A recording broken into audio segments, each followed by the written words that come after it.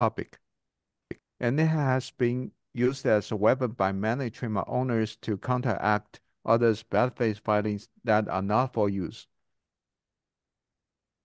However, in recent years, some good faith applications filed by legitimate applicants are also suspected to be in violation of Article 4. And office actions are issued by the trademark office demanding the applicants to demonstrate the use status of the applied marks. Some of our clients are puzzled or worried about this situation. How to deal with such office action?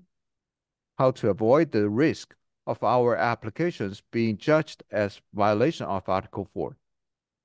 How should we adjust our filing strategy according to the practice change? Today, one of our senior attorneys, Mr. Yong Lin, will focus on this issue and talk about the trends of practice and the suggestion of strategy on Article 4 with some case study.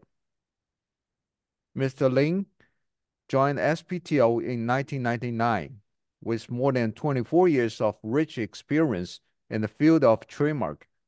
His practice ranged across trademark prosecution, search, research, search and analysis, opposition and invalidation, IP portfolio management, as well as IP strategic consulting. His presentation will last about 30 minutes with up to 15 additional minutes for questions. You may raise your questions through text message during the presentation, and you are also welcome to send your question by email, and we shall duly reply. Now, let's welcome Mr. Lin. Hello, everyone. Good morning, good afternoon, and good evening. Thanks for attending this webinar.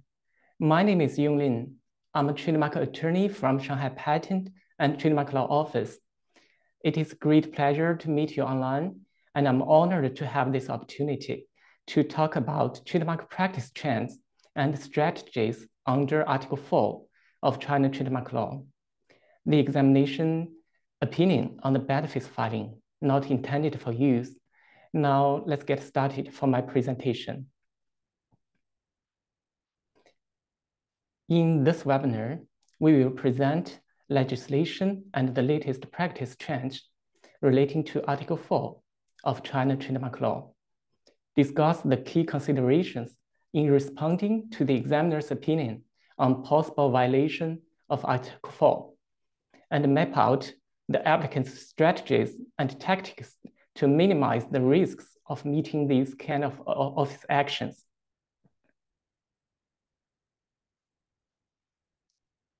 Let's start with the first part, legislation and practice change on Article 4 of China trademark law.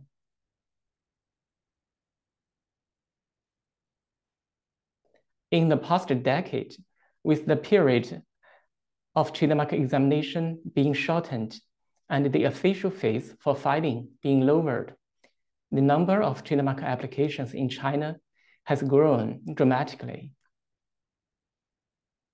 As you know, China adopts first filing simple, and there's no requirement for the applicant to present trademark use or promise to use when submitting the applications. Bad faith filings and trademark holding are becoming increasingly serious. Some applicants were found to take advantage of these changes for squatting trademarks, not for the use purpose. Here are some examples. The devices in the left of this slide reflects bad faith imitations to the trademarks Adidas, and Louis Vuitton in various forms. The right is a list of more than 800 trademark applications covering 33 different classes. And these applications are filed by an individual person. Such applications in bad faith cause troubles to other normal applicants, hinder others from registering their own trademarks, and jeopardizes their legitimate interests. In order to cope with the situation and avoid troubles for the business in China, many entities have to invest a lot of efforts and cost to take actions against the bad faith applications and applied for a large number of trademarks for defensive purpose.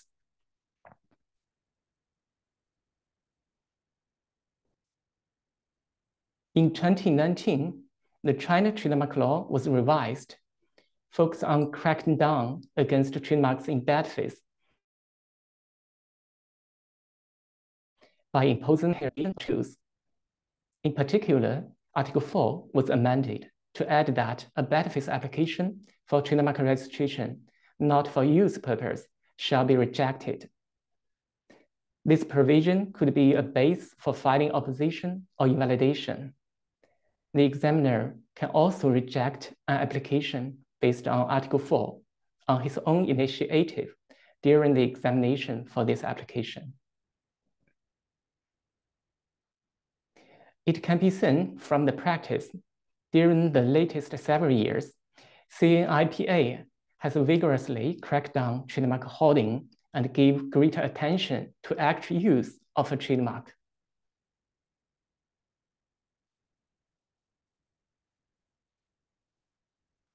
Following the amendment of China trademark law in 2019, CNIPA issued a series of regulations and notices to continuously crack down bad faith trademark applications, including the bad faith filings not intended for use in violation of Article 4. In the several provisions regulating trademark applications and registrations, and the trademark examination manual, the considerations and factors to judge the applicant's possible violation on Article 4 and the typical cases are clarified and, and disclosed to the public. In the work plan for systematic governance of bad faith re registration of trademarks to promote high quality development, it is mentioned that CNIPA will take kinds of measures, including new technologies such as big data, cloud computing, and uh, artificial intelligence to crack down malicious registration and trademark holding.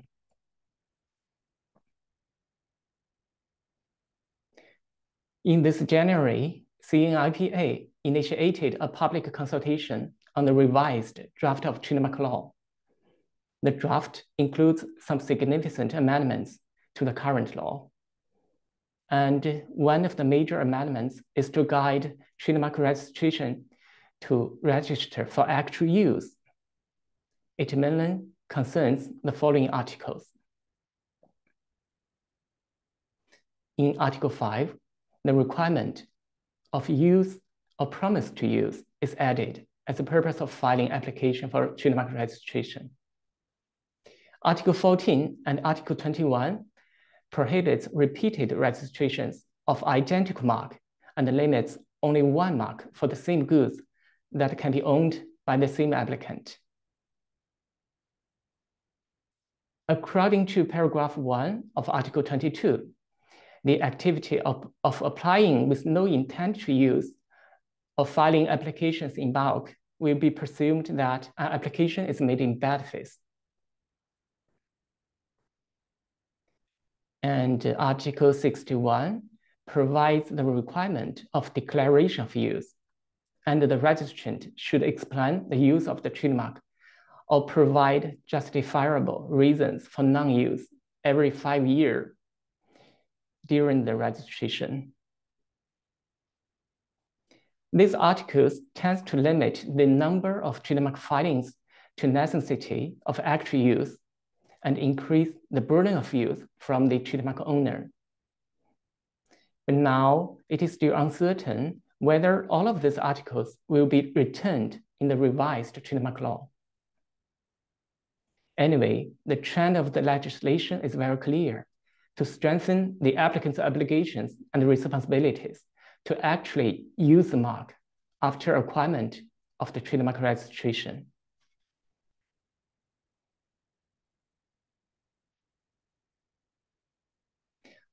Uh, in this slide, the upper diagram shows the trademark annual filing numbers in China in the past 20 years. The table below shows the total filing number and the number of bad faith applications or registrations rejected or removed by CNIPA in the past two years. In 2021, the examiners rejected around 60,000 applications for registration on their own initiative. And the number is about 35,000 in 2022. With the change of legislation and practice, the total filing number in China, as well as the bad faith applications, have all shown a downward trend in the recent two years.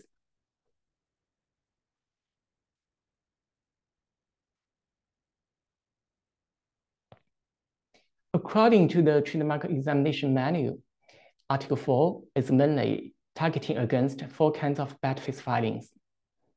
Trademark holding without use purpose, infringement on the rights of multiple entities, improper appropriation on public resources, and improper profiteer activities.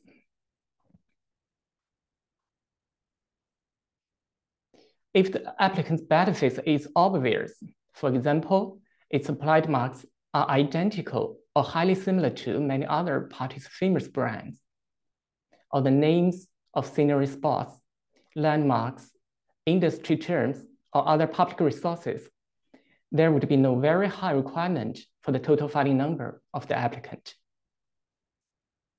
In some cases, we noticed that the faith applicant files only about 30 to 40 applications, copying some of others' famous brands and geographical names.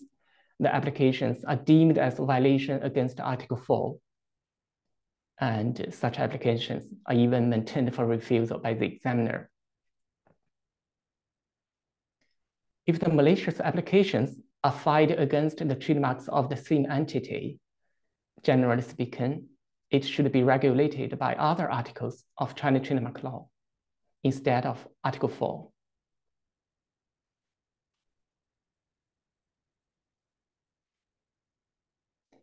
The examination manual provides two exceptional situations to Article 4. If the applicant applies for a trademark identical or similar to its registered trademark for defensive purpose, it does not apply to Article 4. If the applications are filed in appropriate amount and they are made for future business with realistic expectations, it does not apply to Article 4 either.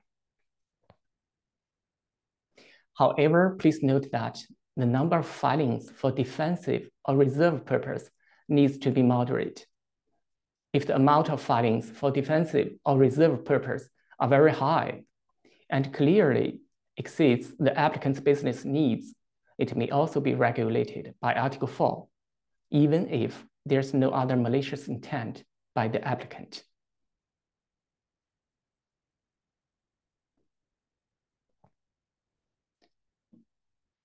With a great number of bad faith applications are cracked down, sometimes we see that trademarks filed in the normal course of business are determined to be impossible violation of Article 4.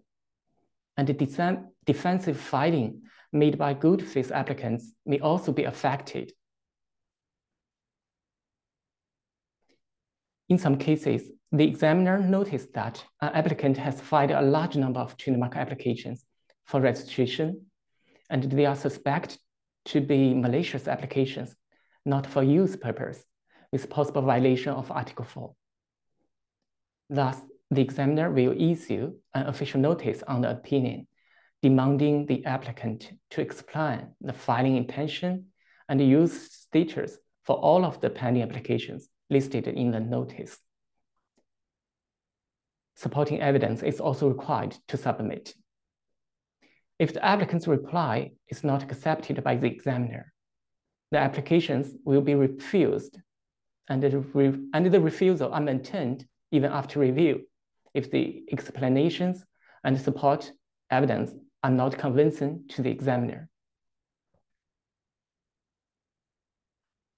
When meeting such an official opinion due to Article 4, the applicant has only 15 days to make a response.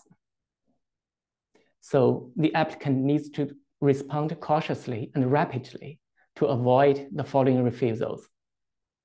This kind of official actions may capture some good faith applications and cause impact on the defensive filing strategies.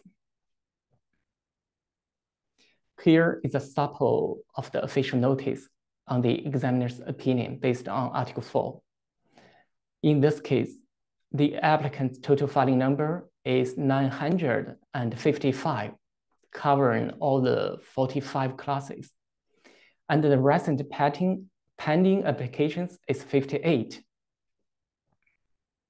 Although there's no other bad faith information for the applications, the applicant receives such an official notice and is requested to explain the filing intention for all of the 58 pending applications and the reason for the 45 class coverage in the record.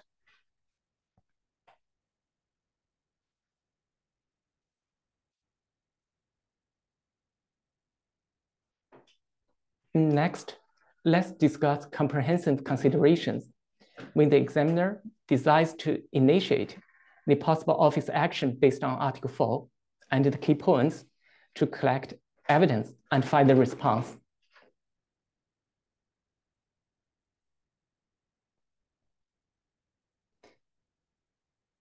In the examination procedure for trademark application, whether to initiate the examination opinion based on Article 4 comprehensive elements will be taken into consideration, including the total number and recent filings, class coverage, and time span of the applications,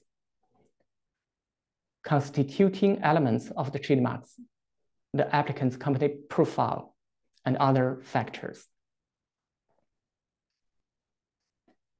It is said that CNIPA uses big data and other information technology means to conduct a comprehensive scoring, score, scoring through data analysis.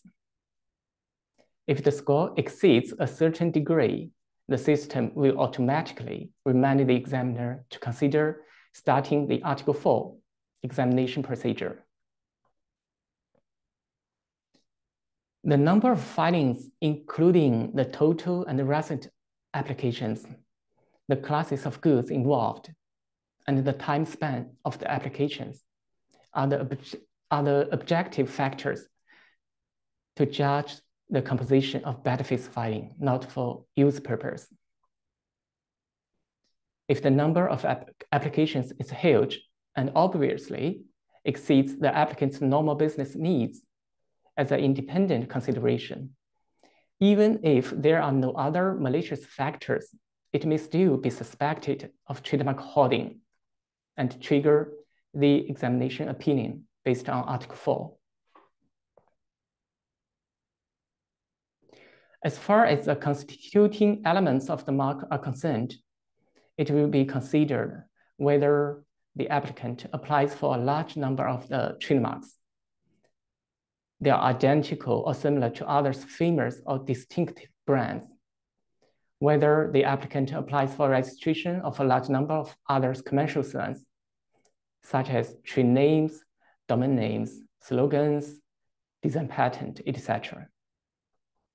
In addition, whether the applicant applies for a large number of applications for marks containing administrative divisions, geographical names, scenery spot, landmark buildings, as well as industry terms or products generic terms. This will also be likely judged as bad faith due to improper use for public resources. Once it is identified as having such malicious intent, the possibility to trigger the examination opinion and meet the following official refusal based on Article 4 is very high.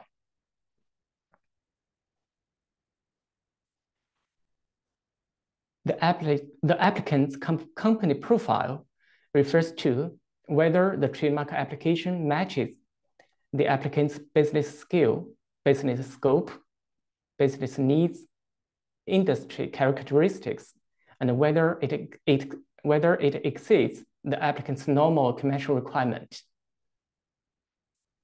If the applicant obviously does not have the corresponding ability to use the marks, but applies for a large number of trademarks in a short period of time, there's also the, the risk to trigger the examination opinion on Article 4.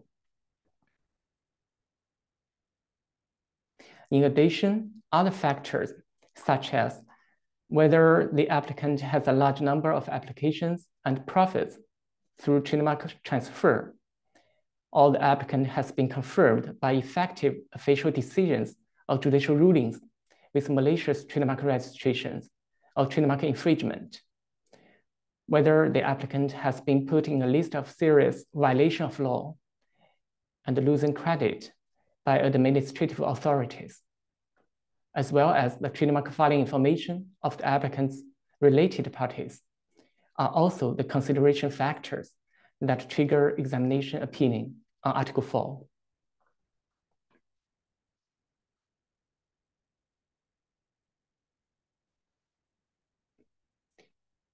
As we have discussed, the applicant needs to take it seriously and make a rapid response with supporting evidence if meeting the official opinion for possible violation on Article 4.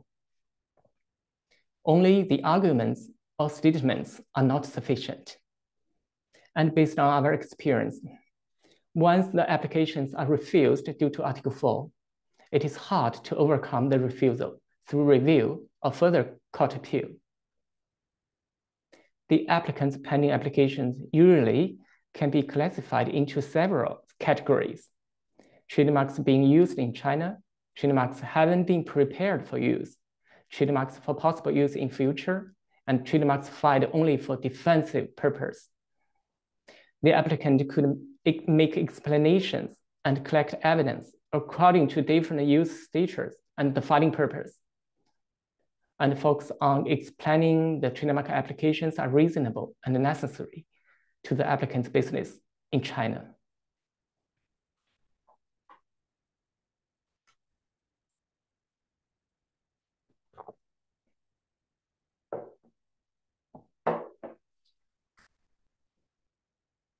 The purpose of submitting evidence is to prove that the trademark applications are reasonable and necessary for the applicant's business so as to persuade the examiner to waive the opinion on possible violation of Article 4. When replying to the office action, the applicant may try to collect evidence from the following aspects. First, evidence relating to use. If the applied trademark has been actually used on the designated goods, there's no doubt that the relevant commercial documents for trademark use is the most powerful, powerful evidence. If the applicant prepares to use the trademark in China, he can submit the documents for the relevant business plan or preparations that has been made for implementing the business project. In addition, the overseas trademark registration or trademark use can also be submitted as evidence to prove that the applicant has genuine intention and reasonable business need for use of the trademark in China. Second, evidence relating to trademark. In case of a defensive applications, we can prove that they are reasonable and necessary by showing that the main brand owns high reputation, high reputation and, it, and it is original and strongly distinctive. Evidence re um, relevant to the applicant business condition or status. Enterprises in different industries, different size, and uh, enterprises with different business scope will inevitably have different needs for trademark applications. For example, the retail industry tends to have a wide range of categories and its application often cover far more classes than a single manufacturing company. Internet companies are characterized by strong explosiveness, and the number of trademark applications in a short period of time may be higher than that of the enterprises in other fields. Even within the same industry, the needs of leading companies and startups for trademark applications are completely different. Therefore, we can prove that trademark applications are reasonable and necessary by collecting and submitting evidence to reflect the characteristics of the applicant's industry, the size of the entity, its business history and current status, and the business scope for wider coverage of the products. Evidence relating to the market.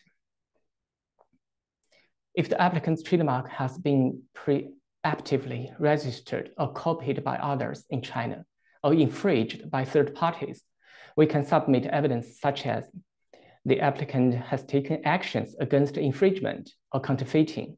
It can further confirm the applicant's trademark layout in the advance of filing of defensive applications to prevent trademark squatting is necessary. Finally, it can also provide a comparison of the number of trademark applications and class coverage for the competitors in the same field. Such information can also show that the applicant's filing numbers is reasonable from this effect.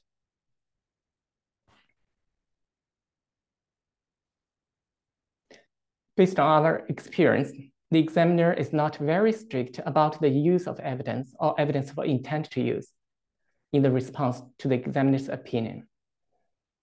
The mark can be used by the applicant or its affiliated entities. It can be used before filing or after filing of the application in China or outside China. The overseas use is also helpful to prove the applicant's intent to use for the same mark in China. Further, it is unnecessary for the applicant to prove the trademark use for each item of the designated goods or services, or each subclass. The use of the trademark on any designated item could be possibly acceptable to the examiner and persuade the examiner to waive the opinion for possible violation of Article 4. Further, there's no specific figure for acceptable number of filings for defensive purpose or reserve purpose. The acceptable scope depends on comprehensive factors, including but not limited to similarity with the main mark, fame or reputation of the main mark, the applicant's skill and business scope, relevance between designated goods and the applicant's business field, characteristics of the applicant's business industry, records on trademark infringement, counterfeiting, or pre-active registration by other parties in bad faith. The high degree of the trademarks, the greater popularity and higher fame of the main trademark, the larger scale of the applicant, the wider business scope, the stronger relevance of the designated goods to the business field, and the more serious infringement or counterfeiting in China. The acceptable scope for defensive or reserve purpose is bigger.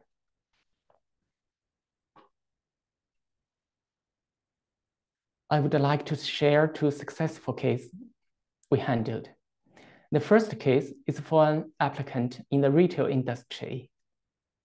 Its total trademark filing number in China is over 1,300 covering 45 classes.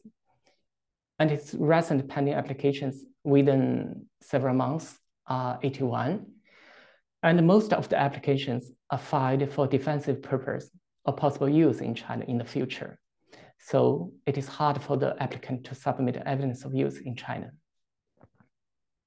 In this case, we mainly submitted the evidence listed in the right square including the applicant's enterprise's history, business feature and status around the world, including China, high fame and influence of the main trademark, ranking of the brand value in the retail field, aggressive actions against the trademark infringement and counterfeiting in China, effective, effective decisions on trademark opposition or invalidation against the trademark holding in China, the 20-year time span for the applicant's trademark applications in China, and the contrast of trademark application data for other famous competitors in the retail field. And such evidence was finally accepted by the examiner, and the examiner waived the opinion on possible violation against Article 4. Then all the 81 trademark applications passed for the next step for substantive examination. The second case is for an applicant in the field of sporting article industry. Its total filing number in China is 560, covering 25 classes. And the number of recent applications challenged by the examiner is 74. Most of the marks pending for examination filed by this applicant has been actually used or the applicant has intent to use in China. So in this case, the evidence we mainly submitted includes sales, advertising, and uh, other commercial documents to prove the actual use of the brand in China. In this case, the examiner also accepted our statements and the relevant supporting evidence and gave up the official opinion on possible violation on Article 4 all the 74 pending applications passed to the next step for other substantive examination.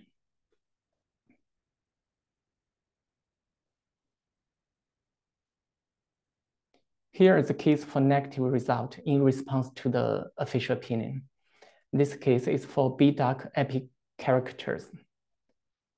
B.Duck IP character belongs to Semk Products Limited.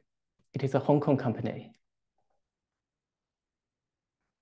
The origin of the company's business can be traced back to 2005, when B.Duck, IP Character, was created by its founder.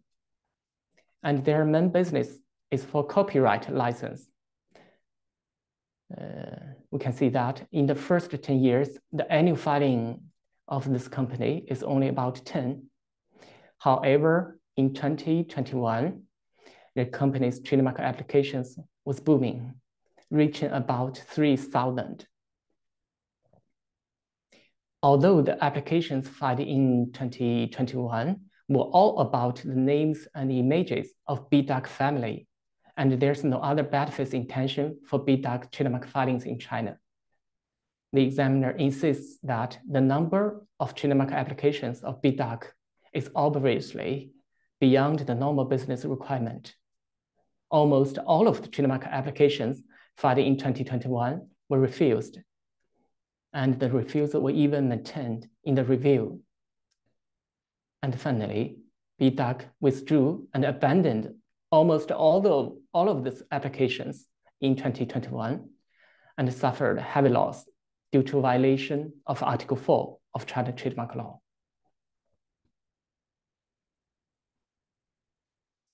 At last, let's make a summary for our recommendations to minimize the risks of encountering office actions due to Article 4. In general, I think it is unnecessary for most of the entities with good faith to over worry about the office action for possible violation on Article 4.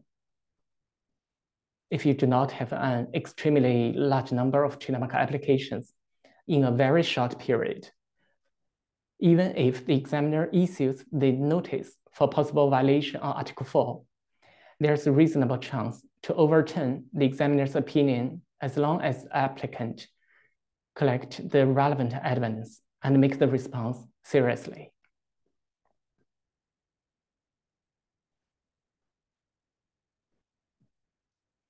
In order to minimize the risk to meet the office actions due to Article 4, we recommend to make a reasonable trademark layout and good plan for its trademark application in China. To arrange trademark applications according to priority level file the applications in normal rhythm and avoid a large number of applications on the same date or within a very short period, period of time. To manage trademark portfolio carefully and determine the appropriate scope for defensive purpose according to the level of importance. According to the applicant's business needs, to apply for an appropriate amount of trademarks for reserve purpose in advance. Unless the trademark is, particularly important. Generally, we do not recommend 45 class coverage for a single brand. 45 class coverage does not mean that it will definitely incur the official action due to Article 4, but it is indeed a sensitive element when judging the possible violation against Article 4 of China trademark law. If practicable, registered trademarks may be held by different entities within the group rather than being held by a single entity so as to avoid the amount of total filings is relatively very high and trigger the possible F of actions due to Article 4.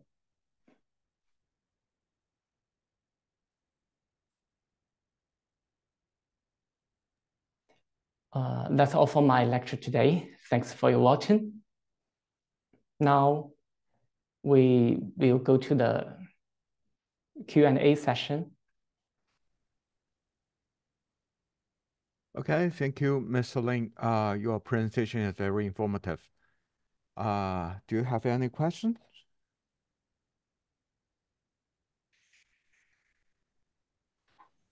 Uh, yes, here I see one question.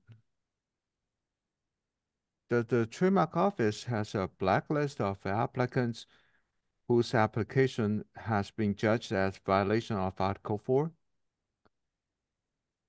Uh, if an application is judged as violation of Article 4, will that uh, have ne negative effect on the approval of uh, later applications filed by the same applicant? Uh, if our response to the examiner's opinion is in one class, in one case is accepted, or we uh, successfully overcome a refused uh, application based on Article 4 in one case, would that secure our other applications? Mr. Lin. Uh, for the first uh, question about the blacklist, uh, what we know from the trademark office is that um, at least there's no blacklist disclosed to the public. According to some official notices, the wording blacklist or whitelist should not be used in determining credit of legal subjects in the field of intellectual property. Uh, as I said, judgment of violation of Article 4 is a comprehensive consideration. And uh, it depends on many factors. I personally do not believe that an application will be judged as violation of Article 4 simply based on a so-called blacklist.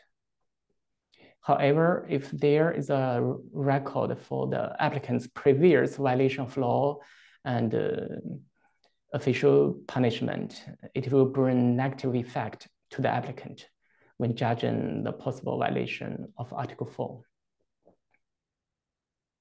Um, okay. For the second uh, question, um, according to our experience, violation of Article 4 is just case by case. If your application is judged as violation of Article 4 in one case, it does not mean that you, your other applications will meet with the same problem. Uh, likewise, even if you have successfully over, overcome an office action based on Article 4, it does not mean that you, your other applications are safe from this article. I think uh, uh, you'd better make a good plan for your trademark applications or layout in China to avoid the risk of encountering such office actions. Uh, based on Article 4. Okay, uh, thank you. Uh,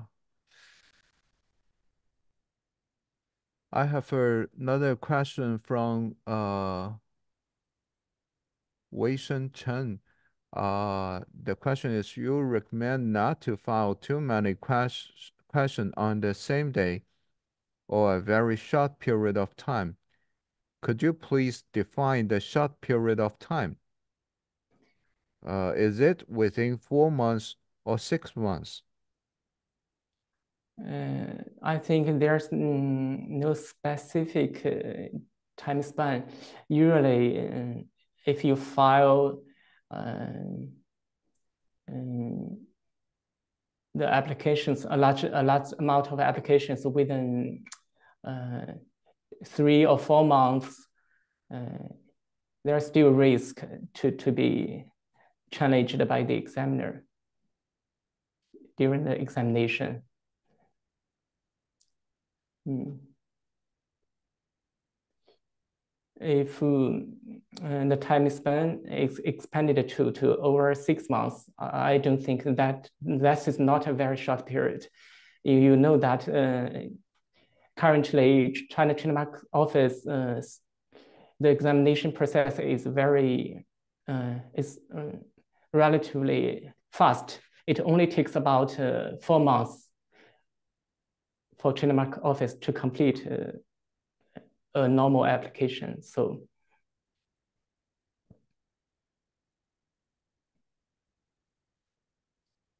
so not too too many trademarks on the same day or a very on the same date period. or uh, within several weeks or within mm. one or two months. Mm. Mm. yeah, if if the time span uh, beyond six months, I, I don't think that's a shorter period of time that could be defined as a short period of time. Okay, thank you.